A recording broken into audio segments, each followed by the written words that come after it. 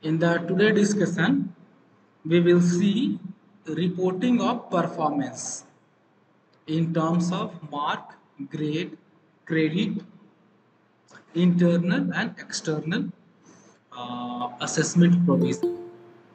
That we will see that how we can report the performance of a student in terms of the marks, grade, credit, what are the merits of this type of uh, mode of reporting? And uh, what is the merit of having internal and external assessment provisions? These things we will cover in this uh, discussion. And uh, before discussing over that uh, what are the merits of uh, grade and uh, mark assessment? First we will try to see that uh, how these uh, grade marking are being done as per the CBSE provision.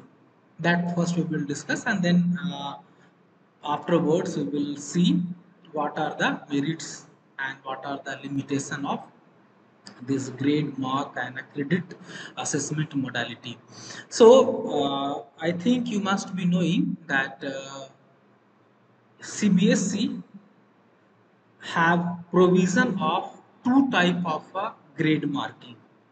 One grade marking is the absolute grade marking. And the second type of a grade marking is percentile grade marking I will show you so that it will become a little bit clear.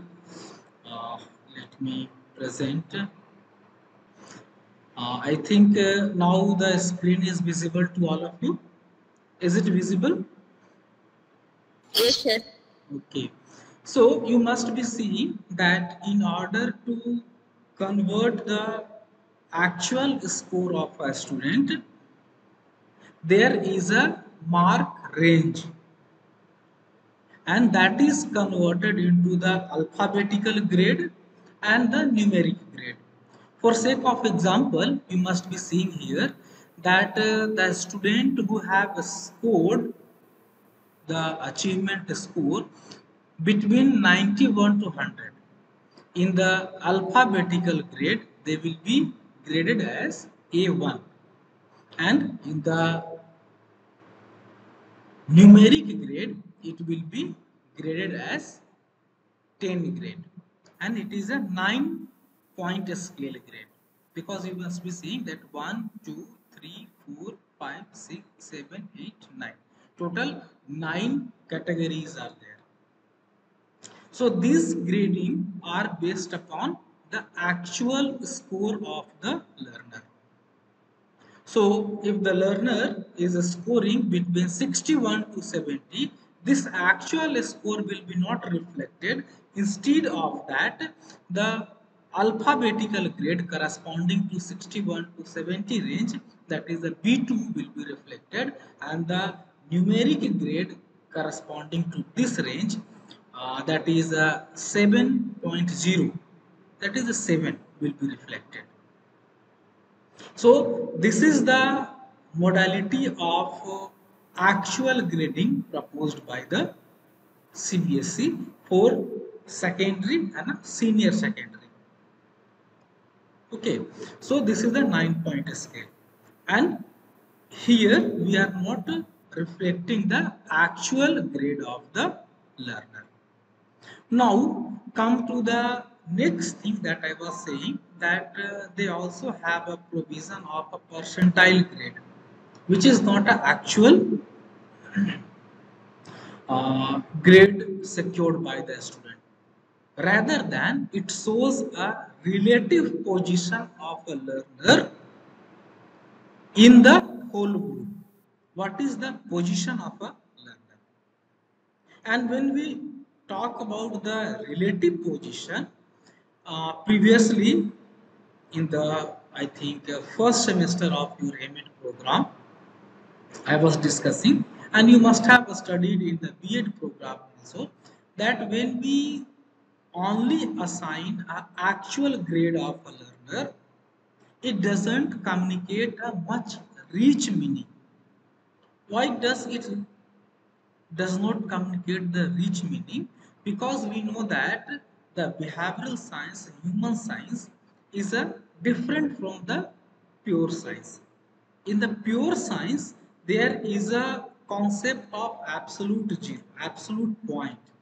But in the social science and behavioral science, we don't have a concept of absolute point of saying is that if I am saying that a student have secured zero mark, then I cannot say that student does not know anything.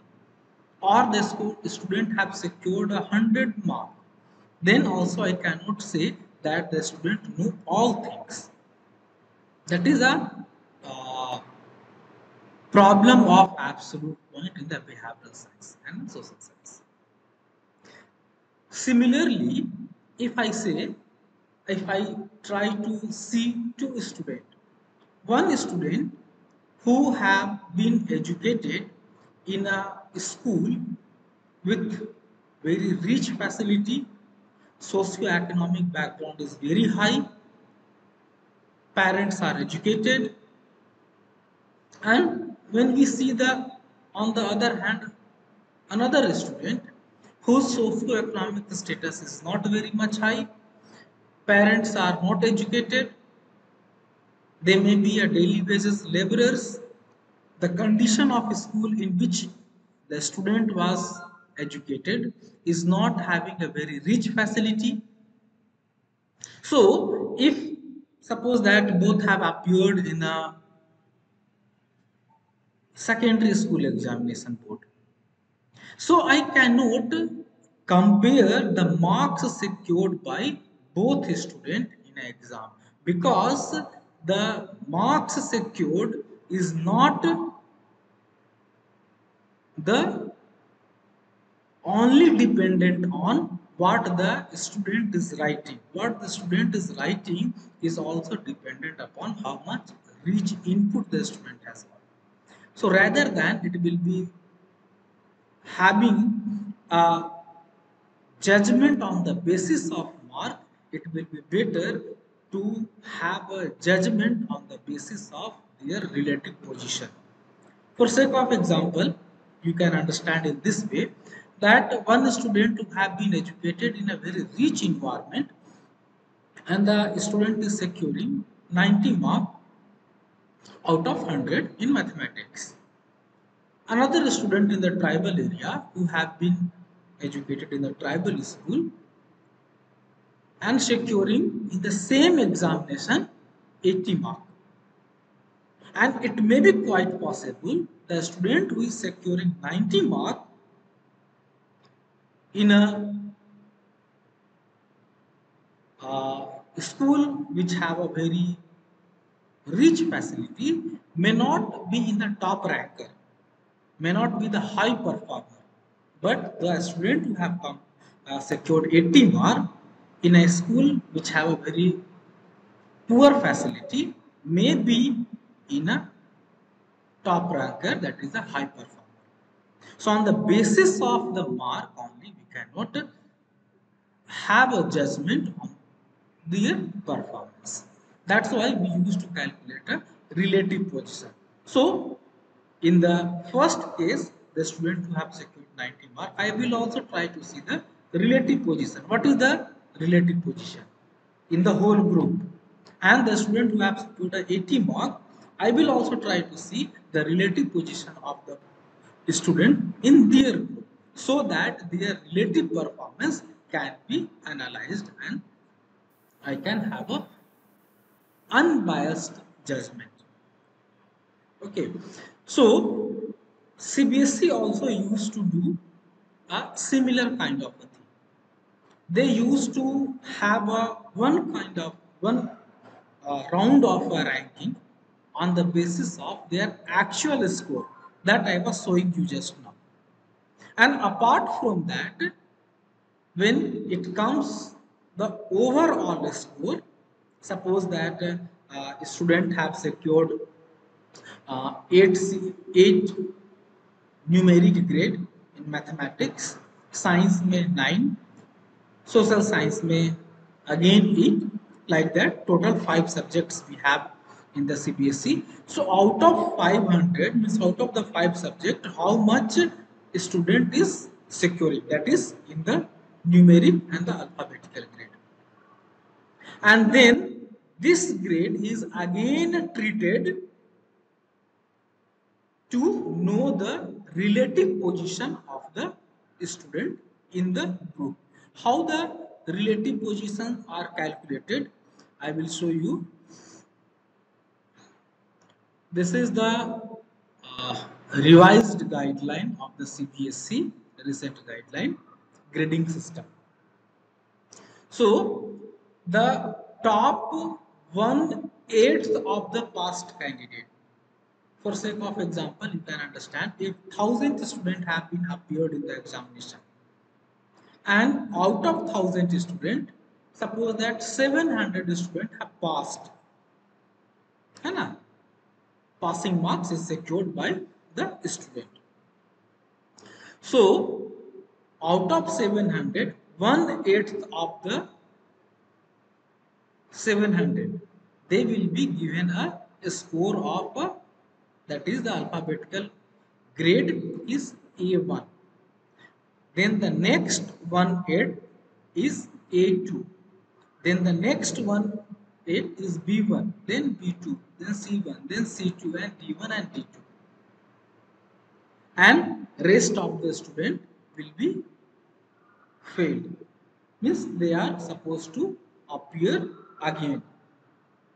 Then you will find that uh, I was saying that uh, it is calculated out of the past candidate then where this problem of failed candidate comes because it is being calculated from the student who have passed. Like that I was saying that out of 1000 student 700 student have passed. So you will find that is there is total 8 categories of a grade. Like this 2 4 6 and 8 so this grade is calculated out of the past student and the remaining student. Like that out of 1000 700 is passed so 300 will be failed. So 300 will get a e grade. Okay so uh, now i am stopping this, uh, screen sharing. So this is the grading scheme of a cbse for the school education of a secondary and a senior secondary students and that's why they do both the absolute grading and the percentile grading. Absolute grading is done to grade the individual subjects and the percentile grading is done to calculate the overall grade of the student in the examination. Then the again next concept uh, of a grading which is in the uh, is that uh, CGPA and cumulative grade point average.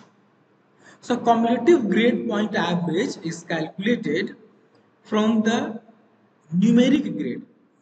I will uh, again share another file to make it clear. See, here is the example. Suppose that there is a five subject. So, in the subject 1, the grade point is 7, subject 2, 6, subject 3, 7, subject 4, 8, subject 5, 7. So, to calculate the grade point average, the grade secured in all the subject is summed up and it is divided by the total number of subject. So it will be the sum of the grades secured in each subject and divided by the 5 because there is total 5 subject. So in that way, if we will sum, it will come 35 and it will be divided by 5. So it will be again 7. So irrespective of the individual grade in the individual paper, like that here it was 7, here it was also 7, here it was also 7, but here it was 6 and here it was 8. So cumulative grade average will be 7. so uh, this is the another grading scheme adopted by the CBSE. Then, then another one more concept is that when it is required to convert the grade into the percentage.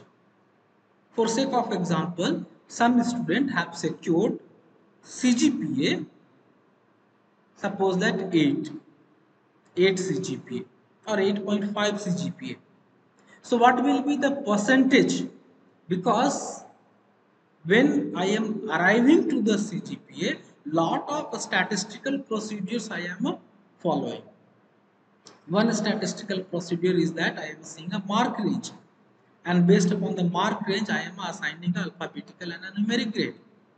Then I am coming to a CGPA. Then I am calculating the relative position in a group. So lot of the statistical uh, procedures are being adapted. So when it is required to convert the CGPA into grade or into percentage, then we used to multiply CGPA by 9.5. So if the CGPA is 8.5, then the corresponding percentage will be 8.5 multiplied by 9.5. Then the again question comes, how we came to know that this 9.5? From where it comes the 9.5?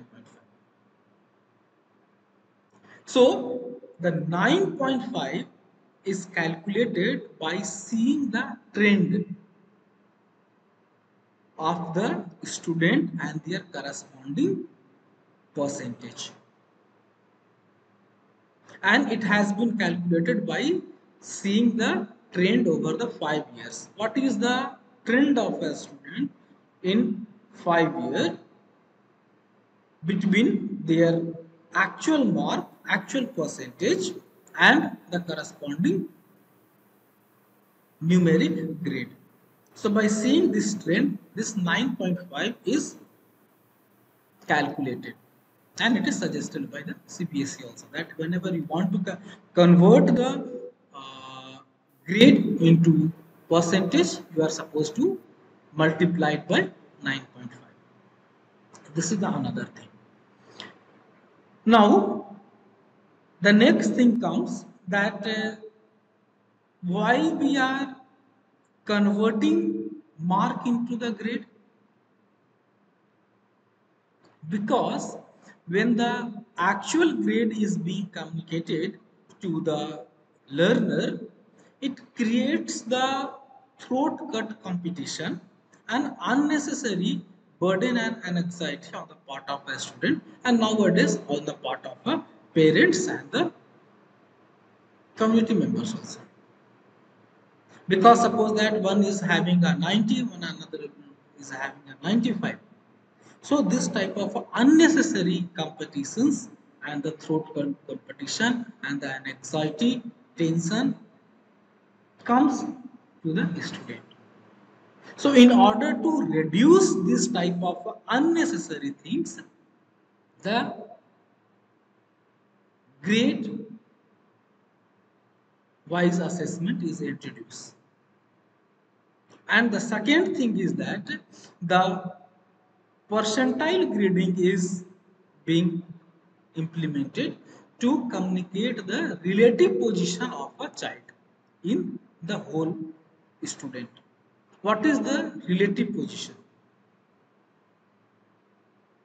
So suppose that if I say that uh, 90 mark, suppose that the 90 percent is secured by some of the student sometimes it doesn't provide, uh, communicates the real position of a child. For sake of example, one another uh, incident I will quote. when I have appeared in the board examination, that time the person who was a district topper who have secured 69 percentage of mark. 69 percentage mark was the district topper. And at that time the bihar board topper were somewhere in 80 85 percent of mark. But nowadays when we see the students are securing more mark than that. It is because of the examination reform that we had. So many reform we, we had. Like that previously i was saying to you when i was writing a board examination question was coming from both 9 and 10th nowadays only the questions are coming from 10th in the senior secondary also question was coming from both uh, 11 and 12 nowadays only the questions are from uh, are coming from 12 there is a provision of internal assessment, external assessments, lots of uh, examination reform we have seen. So, if you will compare that uh, uh, topper, highest ranker of, of that time to the student of today's, you will find that they are nowhere. Nowadays, the students are getting 98, 99 percentage of a mark. That time it was a dream so how we will compare? So it will be better to provide a relative position. So that at that time you have secured 85% of the mark, that will be at a top ranker, top rank, rank 1, suppose that. Here also, uh, those who will secure 98% of a mark, they will be also at a top rank. So they can be compared that both are a top ranker, highest performer. Otherwise, it will be not very good. So when we are talking about the percentile ranking, it also provide a more authentic position of a child in the assessment procedures. It is more authentic than the earlier one, than the previous one. Another benefit of uh, uh, having grade marking is that uh, when we have a grades, the actual mark secured by the learner is hidden. And since it is hidden, so it reduces the burden and the, they reduces the exam anxiety. Because they know that if there will be some more mark or some less mark they will get a similar kind of a grade. So the exact exam and anxiety is reduced. I have seen that lot of uh, students have exam phobia phobia. Nowadays it has been reduced because of the several examination reforms. But the student those who have exam phobia it was because that they had a pressure of uh, securing more and more mark and it was a fight for uh, every mark. So it can reduce that type of a psychological problems. So this was the pattern of a grading and uh, the logic behind having a grading mark and why we have moved from uh, the actual mark assessment to a grade assessment. Okay, now we will come to a credit system. What is the credit? When we talk about the credit, credit is the weightage of the subject. For sake of example, some subject of 100 mark examination whose syllabus is more and some subject which is of a 50 mark paper whose subject, uh, syllabus is less they cannot be compared with each other because of the content load in both the paper. Because both have a different type of a content load. So in order to overcome this type of a difficulty credit wise assessment is implemented where in the different paper have a different credit wise weightage in the university system. When we have a 100 mark of a paper usually it is it have a credit credit weightage of 4 credit. And when we have a 50 percent uh, 50 mark paper then it have a credit weightage of uh, 2 credit isn't it? So these are the different types of credit system which we have. Credit is simply implemented to have the to give the weightage of the different subject. What is the weightage in the whole curriculum? In the whole curriculum what is the weightage so for that we have implemented uh, credit system. Then the next point of our discussion is the internal and external assessment provisions. Over the time period by the several research it has been observed that uh, examination is a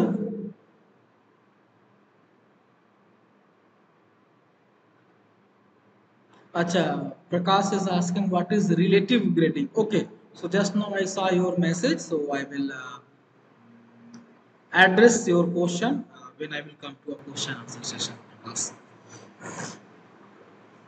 So we have seen that examination was a problem of fear and a failure since a long time. Students have a fear from the examination and the reason when it was pointed out, it was found that uh, the main reason of a problem of a fear and a failure is the unnecessary burden and anxiety which is created by the examination. How it is an unnecessary burden? Because Earlier, there was a provision of a one-shot examination. Like that when I was appearing for the board examination. Question we are asking were asked from both the 9 and 10th.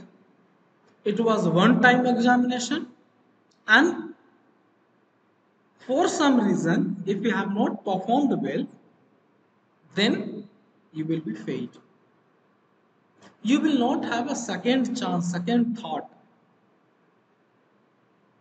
And the second reason was that since the whole content is being assessed at a time, so student had a pressure of completing, revising whole thing for the examination. And the modality of assessment was also very much limited. One short paper pencil test. That's all.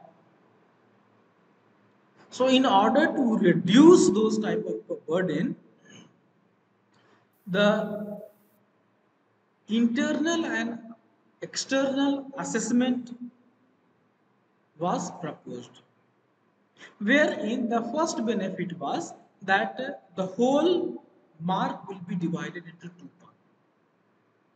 For set 20 and 80 30 and 70 so this 20 and 30 will be the external sorry internal marking which will be assessed internally by the school when you are studying in that particular grade. That particular class. And wherein you have an opportunity to perform well. And it will also reduce the external assessment that we are having because it is now not a, of a 100 mark rather than it is of a 70 or 80 mark. So it will reduce that. You will have opportunity to perform better. And in the internal test, lot of a variety of a testing technique and non-testing technique can be used which can be very authentic than the paper pencil test and student get a multiple opportunity. Here you have a opportunity to talk opportunity to exhibit opportunity to draw opportunity to collaborate and work. So lot of opportunity you will get here. Okay. So that is the benefit of internal and external assessment technique. Now I will come to a question answer session. First I will take the question from uh, Prakash. Prakash is asking what is the relative grading. See there is a two type of a grading I have told you. That one is the absolute grading. Absolute grading is just I am evaluating your answer script and I am assigning a mark, actual mark. Out of 100 how much you have secured if you have secured out of 180 mark, then 80 I will write. That is the actual mark you have. But that time also I, have, I was saying that actual mark have its own limitation. It does not provide the relative position of a child in a group. And that's why in order to overcome this problem, we have introduced a percentile grade assessment which provide the relative position of a child in a group. Like that uh, CBSE marking scheme I was also quoting that first one eighth student will be marked A1 then the next one eight will be marked as a A2 then B1 B2 like that. So total eight categories will be made, 8 group will be made, which will have a grade from A1 to D2. This grade is nothing but the relative grade. It is not absolute grade. You don't know, uh, you don't think like that. It is absolute grade. For sake of example, if student have performed very well this year, suppose that so first one eighth which is in that group all the student may have secured 90 plus mark. Quite possible they may have secured 90 plus mark. But in some other year or in some other board the student have not secured very good mark. So the first category, the first group that is the A1 group, in that student may come with a mark of 80 plus. So see both the both in the group student have a A1 grade but the marks secured is different because this A1 is not based upon their actual score rather than it is based upon their relative position. Whatever the mark is secured by them, 1 8th will be A1. Here also, whatever the mark is secured, 1 8th will be A1. So here it may be the student securing 80 mark came in the A1. Here the student have performed very well so in A1, student those who have secured 90 plus mark, they will come in the A1. So this is the relative marking. This is the relative grading. This is nothing but it is a relative. When we talk about the percentile and a percentile rank, it is a relative in nature only. It is not the actual.